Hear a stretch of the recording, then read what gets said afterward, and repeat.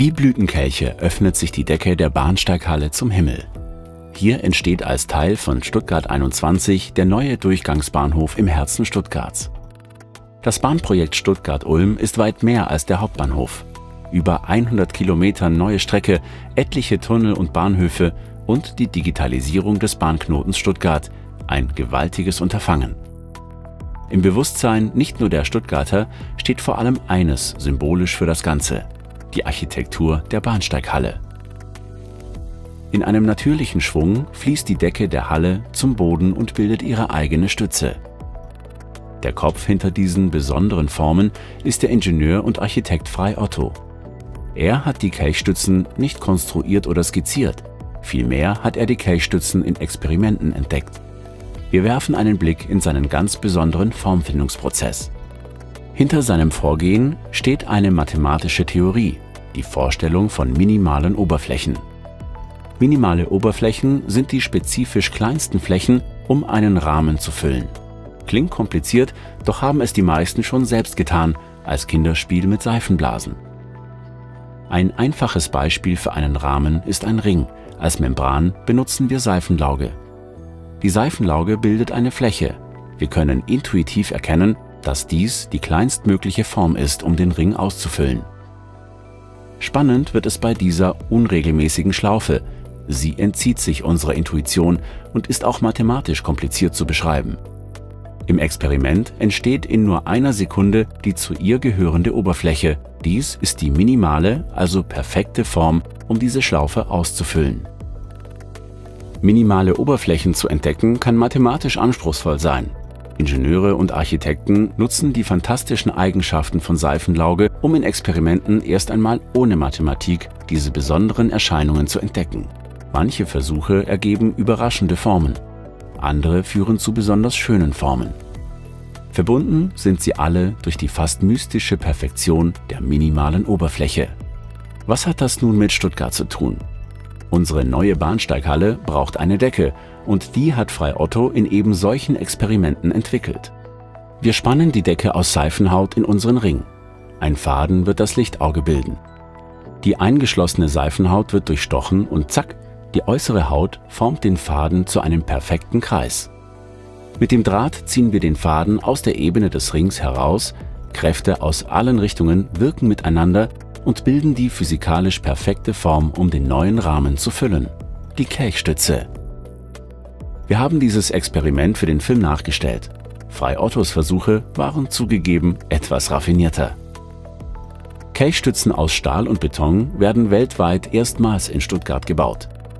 Wie jede Pionierarbeit ist dies eine besondere Herausforderung für die Ingenieure und Arbeiter. Warum sich der Aufwand lohnt, erklärt keiner besser als der Architekt Christoph Ingenhofen. Er ist der kreative Kopf hinter der Bahnsteighalle, wie wir sie heute bauen.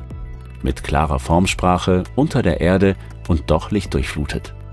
Er hat Frei Otto als Planer an Bord geholt und zusammen gewannen sie 1997 den Architektenwettbewerb für den Stuttgarter Hauptbahnhof. Dieses Gebäude wird eine ganz ganz große Bedeutung haben für die Entwicklung Südwestdeutschlands, Baden-Württembergs, Stuttgarts. Und dieser Bedeutung muss dieses Haus auch in seiner Gestaltung gerecht werden. Also muss es sein etwas, das auch zeigt, was Stuttgart ist. Ähm, es ist ja nicht von selbst äh, gekommen oder per Zufall gewesen, dass wir Fall Otto gefragt haben. Er ist eine wirklich äh, strahlende Figur gewesen, kann man sagen. Sehr schwierig in der Zusammenarbeit, ja, klar. Sperrig, ja, nicht einfach. Aber er ist ja nun wirklich die große Ausnahme unter den deutschen Ingenieuren und Architekten, sagen wir mal, des ausgehenden 20. Jahrhunderts gewesen. Wir wollten quasi das, was Stuttgart für uns auch ausmacht, also dieses ingenieurtechnisch Fortschrittliche, dieses Erfinderische, das wollten wir in diesem Projekt haben und, und haben es als fast irgendwie natürlich angesehen, mit Stuttgartern zusammenzuarbeiten. In dem Fall berühmten Stuttgartern, später mit Werner Sobeck, zwischendurch mit Fritz Leonard, mit, mit, mit, mit einer Menge Menschen, die uns geholfen haben, das zu tun. Und ein sehr großer, entscheidender Teil davon stammt aus Stuttgart und repräsentiert für mich auch ein wenig diese diese, ja, diese für, für uns auch begeisterungswürdige Freiheit im Denken, die diese Leute hatten und haben und die uns natürlich sehr geholfen hat, hier etwas zu tun, das eben über den reinen Funktionsbau hinausgeht, weil es eine besondere Form der Schönheit und der, der Eleganz äh, zeigt und anstrebt. Aber in diesem Bau steckt sehr viel Funktion es steckt nicht nur technisch, ja, acht Gleise und so weiter, ne? es steckt auch in dieser Art der Konstruktion eine sehr sachliche, eine sehr rationale Grundüberlegung. Es ist also nicht eine rein formale Erfindung oder, oder eine Raumschaffung, die wir hier gemacht haben. Die Seifenhaut ist sowas wie sozusagen die jungfräuliche, die, die total von vielen Aspekten nicht beanspruchte Form. Sie müssen wissen, dass alles das, was man Membran oder ähnliches nennt, ist das genaue Gegenteil von dem, was wir jetzt hier gemacht haben. Die Membran ist etwas, die irgendwo dran hängt und die auf die irgendwelche reine Zugkräfte beinhaltet. Das sind alle die Hängemodelle, sind eigentlich Membranen. Ne? Die stellen zwar keine Membran dar, aber sie sind als Modell eine Membran. Wenn Sie wissen wollen, wie man sowas macht, man nimmt so, so eine Art Strumpf oder ein Gewebe. Dieses Gewebe belastet man mit kleinen Nägeln als Eigengewicht und dann entsteht was ähnliches wie die Seifenblase. Es entsteht eben auch eine aus dem Hängemodell entwickelte Form.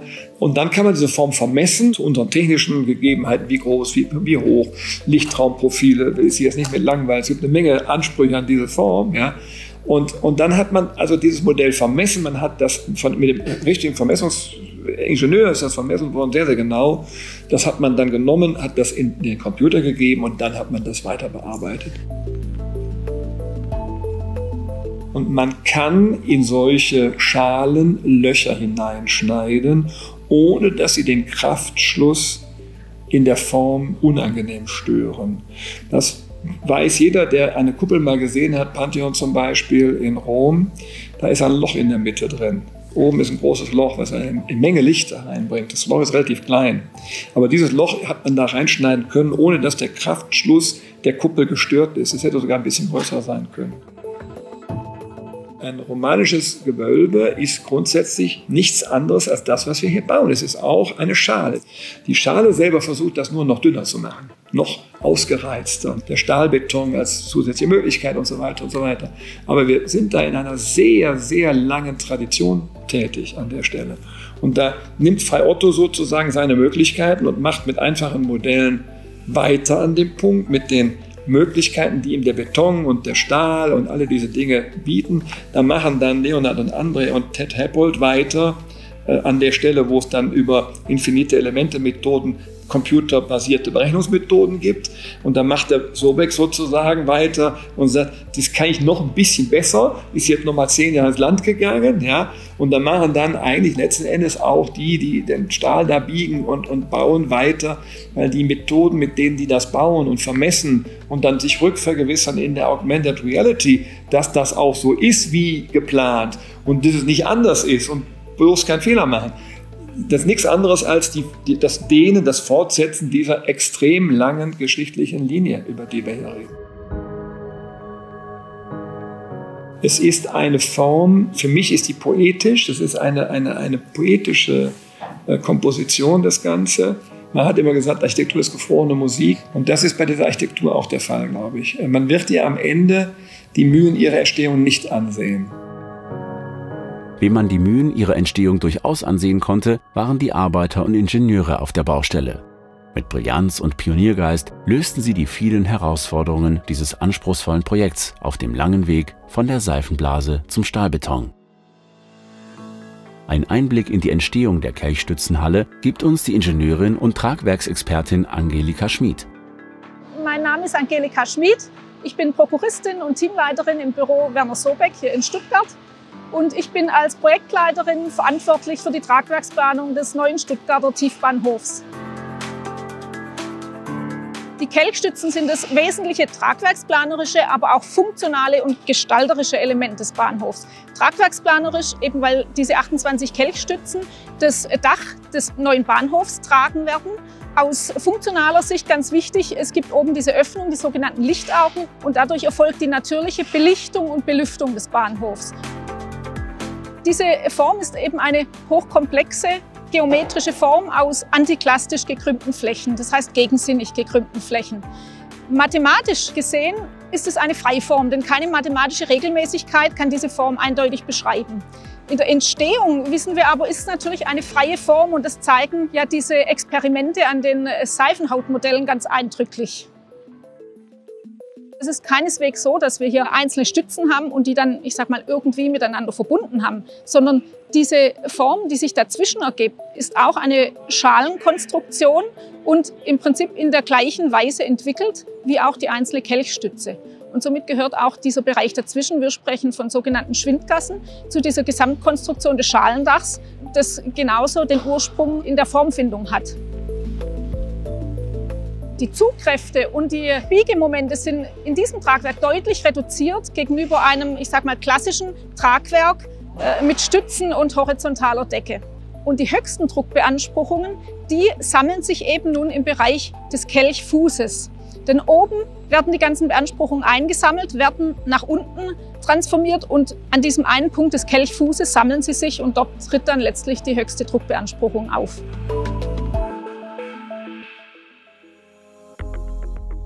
Wir sprechen immer von monolithisch fugenlosem Bauwerk. Das bedeutet, dass die Bahnhofshalle selbst, die fast 450 Meter lang ist, also von Südkopf bis zum Nordkopf, keinerlei Fugen aufweist. Das Fugenlose ist keine rein optische Geschichte, sondern das ist ganz wesentlich fürs Tragwerk.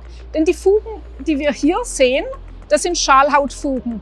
Die haben erstmal nichts mit dem Tragwerk zu tun. Und die Fugen, die für den Tragwerksplaner interessant sind, das sind wirklich Schlitze zwischen den Betonbauwerken, wo es dann auch dazu käme, dass es keine Unterstützung mehr gäbe. Also würden wir hier mittig eine Fuge einziehen in den Bahnhof, bräuchten wir rechts und links davon vermutlich Stützen. Und durch das Monolithische ist das ein Tragwerk, das über die ganze Länge wirkt und in sich auch stabil ist und tragfähig ist. Wir haben zum Südkopf eine Bewegungsfuge und zum Nordkopf eine Bewegungsfuge. Dazwischen, der Bereich, in dem die 28 Kelche stehen, gibt es keine einzige Fuge. Und das ist aus Sicht der Tragwerksplanung eine große Herausforderung, weil je länger ein Bauwerk aus Beton ist, umso höhere Zwänge entstehen darin. Einfach aus dem Verhalten des Betons, Kriechen, Schwinden, aber auch aus Temperaturveränderungen. Und das führt eben dazu, dass wir es mit hohen Beanspruchungen und dadurch auch ordentlich Bewährungseisen zu tun haben in diesem Bauwerk. Beton kann verschiedene Verformungszustände annehmen. Dazu gehören das Kriechen bei Zugbelastungen sowie das Schwinden bei Druckbelastungen. Auch Temperaturveränderungen führen zu Abweichungen und damit zu einer zusätzlichen Belastung des Tragwerks. Anders als im Seifenblasenexperiment sind die echten Kelchstützen vielfältigeren Belastungen ausgesetzt als nur ihrem eigenen Gewicht. Daher bestehen Kelchstützen aus mehr als Beton. Zusätzlich sind Stahlstreben in ihrem Inneren verlegt. Die Stahlstreben nehmen Zugkräfte auf, während der Beton die Druckkräfte stemmt. Wie im Äußeren folgt auch der Stahl im Inneren der Kelchstützen dem Kraftfluss. Die Streben sind daher dreidimensional gebogen. Nicht bloß um besser in die Kelchstütze zu passen, sondern um den Kraftfluss im Inneren der Stütze abzubilden und so für das höchste Maß an Stabilität zu sorgen. Ist ein ausgeklügeltes System und eine 3D-Planung, wo eben ermittelt wird, wie die Zugkräfte verlaufen, wie also die Bewährung liegt. Und das wird dann tatsächlich auch über Koordinatenangaben der Baustelle zur Verfügung gestellt, damit dann die Eisen wirklich exakt so eingelegt werden können, wie sie geplant wurden, beziehungsweise wie eben auch die Zugkräfte verlaufen. Es ist ein Geflecht, weil natürlich äh, Kräfte hier in viele verschiedene Richtungen verlaufen. Somit gibt es auch Bewährungseisen in vielen verschiedenen Richtungen. Und äh, wie man hier sieht, ist nicht so einfach, den Überblick zu bewahren. Und deswegen wurde auch alles in 3D geplant. Die Baustelle hat dieses 3D-Modell auch, kann dort am Bildschirm schauen, wie und wo die Eisen liegen und die dann eben exakt so einlegen. Und es ist auch wichtig, dass sie exakt liegen, wie sie geplant sind. Zum einen natürlich, damit sie dem Kraftverlauf entsprechen, aber natürlich auch, dass sie in Summe so liegen, dass noch genug Beton dazwischen laufen kann und dann alles eben ein im Großen und Ganzen Beton mit Bewährung am Ende funktioniert. Die Herstellung der Kelchstütze erfolgt so, dass zunächst der untere Bereich, der Fuß des Kelches, hergestellt wird. Dort wird zunächst die Bewährung gestellt anhand von Schablonen. Dann wird die Schalung von außen dagegen gerückt und dicht verschlossen.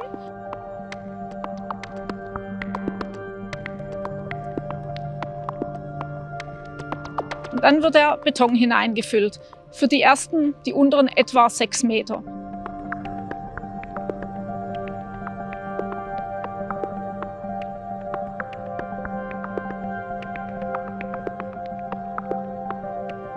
Dieser Kelchfuß ist dann fertig, wird ausgeschalt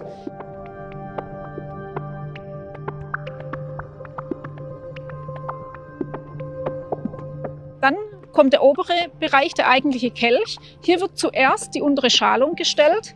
Auf dieser Schalfläche wird dann die Bewehrung aufgebracht, was hier gerade passiert.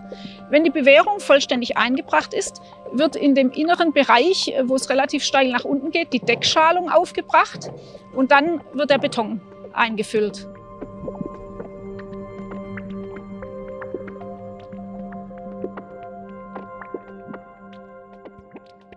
Die Kelchstützen sind eine kühne Architektur, die Bewegung in den starren Baustoff bringen, aus dem sie gegossen sind. Als Abbild eben der Kräfte, die sie tragen, sind sie pure Funktionalität und doch von unverwechselbarer Form.